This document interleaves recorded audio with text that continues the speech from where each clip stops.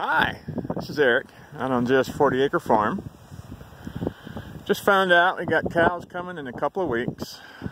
Uh, still got two rows of barbed wire left on this end and five rows on this end.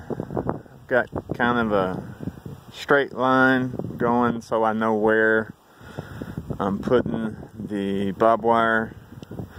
I've got post there. I've got to put another post in the ground and the barbed wire is going to go back this way. It's going to curve around. So it's not really a straight line. It's just a line so I know which way I'm going.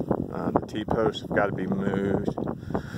So if anybody wants to come out and help, um, probably looking at 500 yards of barbed wire.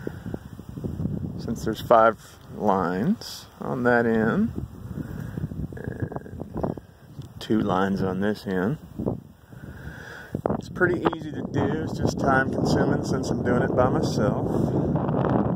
Julie's back at work with her kids at school. Shara's back in school. Still quiet out here on the homestead neighbors' cows are off doing their thing in the distance.